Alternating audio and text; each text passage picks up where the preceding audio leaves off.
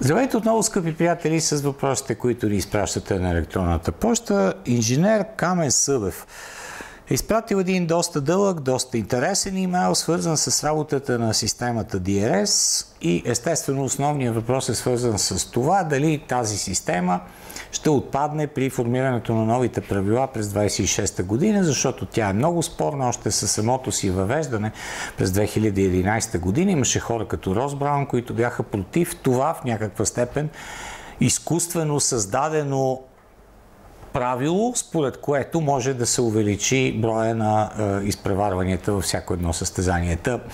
DRS системите по-скоро, според мен, поне до 26-та година няма да има никаква промяна, това е ясно, но след това биха могли да бъдат запазени или по-скоро трансформирани от гледна точка самата активна аеродинамика няма да е толкова пряко свързана с изпреварванията, колкото с, примерно, възможността за охлаждане на много по-големите батерии или с възможността за промяна на аеродинамичната конфигурация на колата, така че да не се налага в определен момент от състезанията, онова за което говори Кристиан Хорнер в Австрия, примерно пилота да работи така, че да зарежда повече батерията, а не да се опитва да изпревари своя съперник и да достигне максимална скорост в края на правите. Това, между другото, са много интересни теми, за които пишем в последния брой на нашето списание. Но а, онова, което според мен по-скоро можем да очакваме като някакво развитие на правилата и в посока на до някъде търсене на облегчаване на начина по който ще стават изпреварванията е контрола над енергията.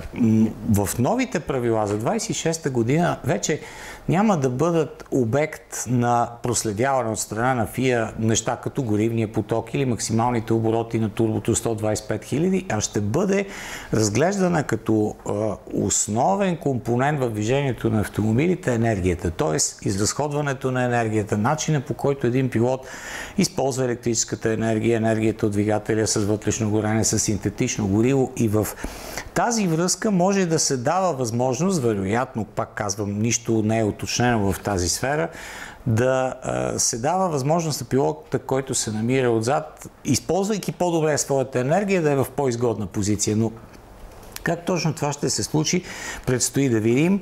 А иначе да, при използването на активна аеродинамика биха могли да се променят ъглите на атака и на предното крило, изобщо да се изменя целият наклон, примерно на задното крило, неща, които пак казвам, все още не са съвсем ясни, докато DRS системата като идея и като развитие, тя дойде просто като следствие на невъзможността в епохата до 2010 година на по-голямата част от тилки пистите автомобилите да се изпреварват. Сега мисля, че постепенно и самите трасета се променят като характеристики. Това вече не е толкова голям проблем. Така че, нека да видим в каква посока точно ще се развие аеродинамиката на автомобилите. Тя ще бъде, разбира се, пряко свързана с задвижващите системи, но според мен има огромна вероятност DRS в новата епоха да отпадне като система или по-скоро да бъде по някакъв начин трансформиран, вероятно пак така че да се